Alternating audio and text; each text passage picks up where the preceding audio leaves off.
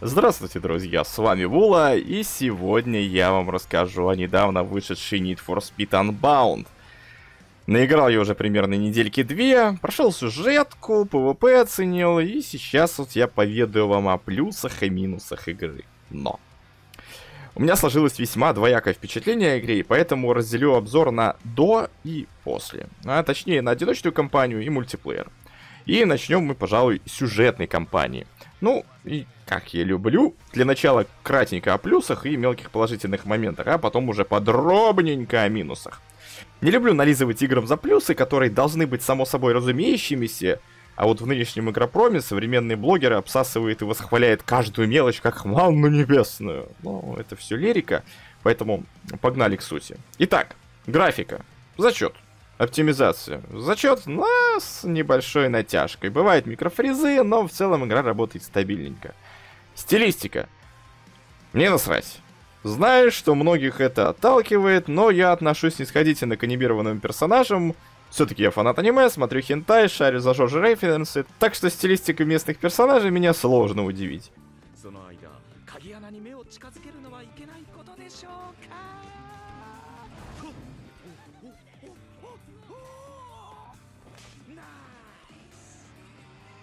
Идем дальше. Физика. Тут, на удивление, я ее в минус не поставлю. Не сказать, чтобы физика охеренная, все-таки это тот же Frostbite, но Критерион совместно с Codemaster все же что-то подкрутили. Похоже, и Физон уже воспринимается куда лучше, чем в хит. Плюс возможности подстраивать машину под нужный тебе стиль вождения дает большой плюс физике. Хотите дрифтить по всей карте? Пожалуйста. Хотите проходить повороты как заправский ГТшник? Получите, распишитесь. И в коем-то веке за что вот отдельный респект, добавили ползунок, которым можно переключать способ вхождения в дрифт. Тормозом, газом, комбинированно или вообще отключить этот брейк to дрифт. Так что физика хоть и аркадная, но, как по мне, за последние, наверное, лет 10, э, ну, физика в Unbound удалась как никуда лучше. Разумеется, в игре остался отличный тюнинг, с большим количеством возможностей в кастомизации, не только своих боевых коней, но и персонажа и так далее, там еще в мультиплеере всякие ништяки. Модель повреждений и столкновений тоже претерпела изменения по сравнению с хитом и э, стала, что ли, более реалистичной. Аварии, конечно, в большей степени заскриптованные, но так как все происходит на больших скоростях, плюс сами аварии по времени длятся не так долго, и тебя быстро респавнит обратно на карту, скриптованность не замечаешь. Ну а смятые капоты и висящие бампера э, чуть более смятые и чуть более висящие, чем это было в том же самом хите. Понятное дело, никто нам в современных играх машин не дает разбивать, потому что лицензирование не позволяет. Но спасибо хоть что-то. А теперь пошли по минусам. Первый и самый главный полная блокировка на территории Российской Федерации. Соответственно, русского языка в игре нет. И речь даже не о озвучке, даже субтитров нет. И не сказать, что я чего-то не понимаю вот в показателях машин или названиях обвесов, тут мне русский язык не нужен, но вот сюжет оценить мне не удалось. Понятное дело, сюжет для гонок последнее дело, но он тут есть, а так как с английским у меня плохо, то в целом очередной мстительный сюжет мне, конечно, понятен, но вот всякие переговоры копов, телефонные звонки и прочие голосовые взаимодействия с сюжетными персонажами хотелось бы послушать, но не судьба. Поэтому, если хотите пройти игру ради сюжетки, то либо качайте русификатор, либо забейте хер. Из-за полной блокировки выливается то, что игру еще и не купить нормально.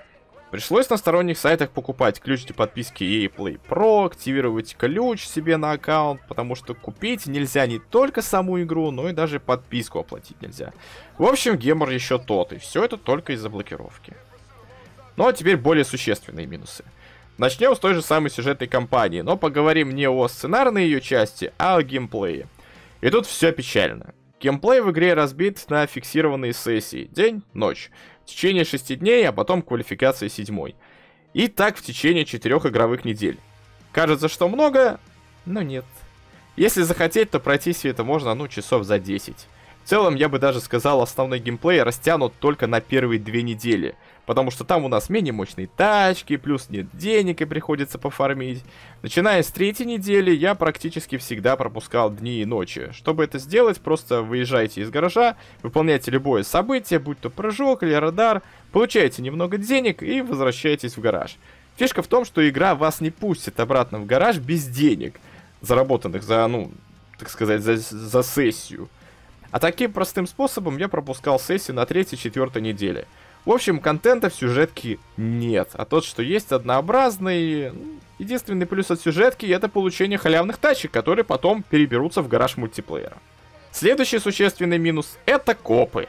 Я понимаю, что многим нравится эта тематика, противостояние стритрейсеров и копов, но я буду говорить со своей колокольни и скажу так. Если делать копов, то только умных. Такие копы, как Ван Баунд и, в принципе, во всей серии НФС нахрен не нужны. Они тупые, бесполезные, легко читаемые, никак не влияют на сложность прохождения. Я бы сказал, они просто надоедливые. Потому что почти после каждой гонки с имеющейся жарой вы будете вынуждены потратить какое-то время на то, чтобы скрыться. И когда вы скроетесь, основным желанием будет не попадаться им на карте. Потом уже я просто поставил на машину специальный девайс, который увеличивает время сагривания новоскопов, и больше они мне до конца игры не мешают. Понятное дело, это субъективный минус, но мне копы не нравятся, и понравятся только тогда, когда появится игра, в которой борьба с копами будет реально челленджем, а не просто надоедалово. Следующим минусом, как бы это ни удивительно, но музыка! Да, возможно, это опять мое субъективное мнение, но я не понимаю, как можно кидать в игру то говно, что там сейчас играет. Ну неужели западная аудитория это сплошь и рядом говноеды? Ну я даже, ну, даже если они слушают все поголовно этот рэп, трэп, хуеп и так далее, ну как можно добавлять эту музыку в гонки? Именно в гонки! Как под это можно гонять? Ну...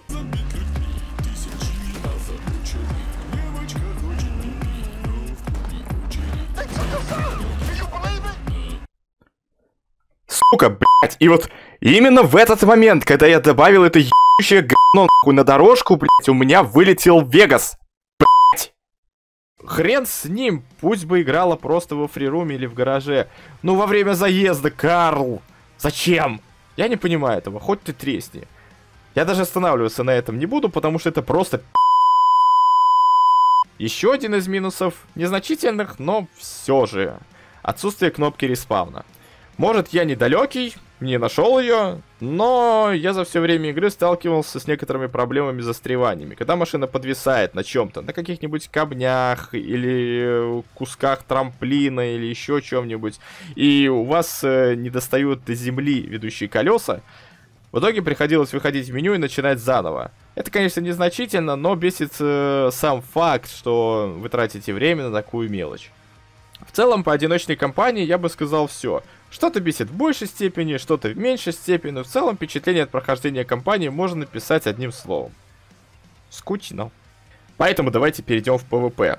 И тут уже все гораздо интереснее. Я тот еще любитель помериться письками, и в новой части, в отличие от хита, нам все же завезли PvP, причем даже как отдельный режим. И весьма продуманный. Вот капец это.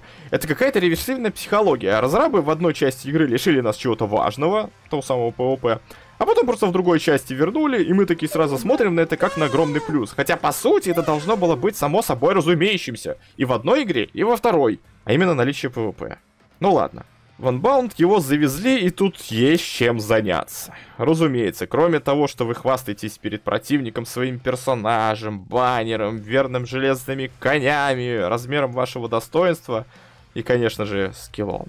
Разработчики из Criterion такое ощущение, что уделили вниманию PvP гораздо больше, чем сюжетки. Ибо тут, кроме того, что все, что у вас было в сюжетной кампании, не работает, а точнее машины, которые вы получили в награду за разные достижения в сюжетке, они перейдут в мультиплеер, но только в стоковом варианте. Все, что вы купите сами в сюжетке, останется в гараже в одиночке. А вот чтобы купить какие-то интересующие вас тачки, как, например, Bugatti Chiron, недостаточно просто нафармить денег. Есть еще специальные условия, которые нужно выполнить. Будь то победить столько-то раз на машине класса S, подрифтить в гонке определенное количество секунд, победить на автомобиле определенного класса и марки. В общем, если хотите получить какую-то тачку, придется попотеть. И деньги тоже не меньше из ваших проблем. Да, зарабатывают в гонке все. Просто одни чуть больше, другие чуть меньше, в зависимости от э, ну, места. Но заработок этот не гигантский. За одну сессию из трех гонок, а именно так устроены события в PvP, вы получите максимум 1035, при учете, что у вас будет полное лобби, потому что чем больше людей в лобби, тем выше мультипликатор награды. И при условии, что вы будете еще первым в таблице по завершению трех гонок. В среднем одна сессия длится минут 10. Соответственно, на то, чтобы заработать на самую дорогую машину в игре, вам понадобится выиграть в лучшем случае 85 событий. А то и все 100-150. И тут уже задумаешься, плюс это или минус.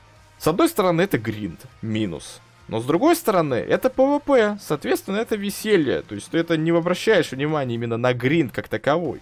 Более разочарование от того, что купленная машина вдруг не оправдает ожидания, и ты, так сказать, потратил деньги впустую. Да, минус. Э, но и тут же гордость за обладание всем шедевром автопрома. Это плюс. Это больше как гордость. Как по мне же, в целом, если судить о вот этой всей системе, то я считаю, что это больше плюс. В современных играх игроки слишком просто получают все, что пожелают. Никто не прилагает усилий к достижению какой-то цели, вот какой-то вершины. А тут владение каким-то дорогим спорткаром как минимум вызывает чувство гордости и увеличивает стоимость обладания этим автомобилем. Ведь на его приобретение ты отдал немало сил. Пока что я наиграл в мультиплеере не так много, всего часов 20, но в целом у меня впечатления очень положительные. Я бы сказал, одиночка и мультиплеер это как совершенно две разные игры. Но есть и небольшие недочеты. Сложно отнести это к минусам, потому что это что-то среднее. Для начала баланс. Да, он есть. Машины распределены по классам, как и в сюжетке, и вы можете подогнать авто к границе класса, вышив из него все соки, и вот Плюс-минус в определенном классе пока что лютых имп я не заметил. Как меня дерут, так и я деру других. Посмотрим, что будет дальше. Другое дело, что, разумеется, нет никакого баланса по скиллу. Никакого мэра, как в дотке, тут нет, поэтому вам может попасться как турбатька-нагибатор, так и отбитый нубас. Сами лобби в игре стабильные, постоянно кто-то выходит, кто-то заходит, при этом ничего не крашится, не лагает и не вылетает у всех на сервере. Но и тут не все так просто, ибо лобби очень маленькие. Всего на 16 человек. А так как машин пока что у многих нету, кто-то просто по карте катается, кто-то играет с друзьями, кто-то уже в гонке, кто-то собирает коллектаблы, кто-то просто срать хотел на всех с высокой колокольни, и порой бывает трудно собрать людей в события. Ситуация, когда набирается полное лобби из 8 человек, крайне редки. Обычно это события на 4-5 человек. Вот если бы на одном сервере было 32, а то и 64 человека, было бы совсем другое дело. Но да, никто не отменяет того, что вы можете собраться своей толпой и играть. И тут я, в связи с тем, что вот заработок в игре без того низкий, плюс собирается события тоже не быстро, да результативность событий оставляет желать лучше. Вот, в общем, я надеялся на то, что можно будет в PvP делать ставки, как в одиночной кампании. Если помните, вы там могли зарубиться с одним гонщиком на дополнительное бабло. Я об этом специально не сказал в первой части видео, но это один из плюсов. И это очень странно, что такая классная механика обошла стороной мультиплеер.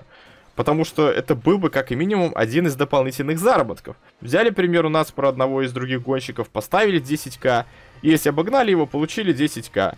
Если не обогнали, то ему в конце придет 10к. Причем не обязательно, чтобы противник соглашался на это, он может даже не знать о споре. Он ничего терять не будет, если сам не сделает ставку. В общем, ну, странно это. Это можно было бы развить дальше, делать ставки на машины, как было в Just. Привет, паренек. Давай, только ты и я. Там ну, это уже прям азарт был. Проиграл, просрал тачку, победил, выиграл тачку. В общем и целом, ребят, от мультиплеера у меня положительные эмоции. Чего, конечно, не сказать об одиночной компании. Покупать игру или нет, тут уже зависит явно не от моей рекомендации, ибо купить игру та еще ебля. Но я лично уверен, что в мультиплеере я засяду. Ну, по крайней мере, на некоторое время. На пару месяцев так точно. Ну а на этом все, друзья. Всем спасибо, кто смотрел это видео. Подписывайтесь на канал, ставьте лайки и колокольчики, чтобы не пропускать новые видео, а также стримы. И играйте, ребят, только в хорошие игры. Всем удачи, всем пока.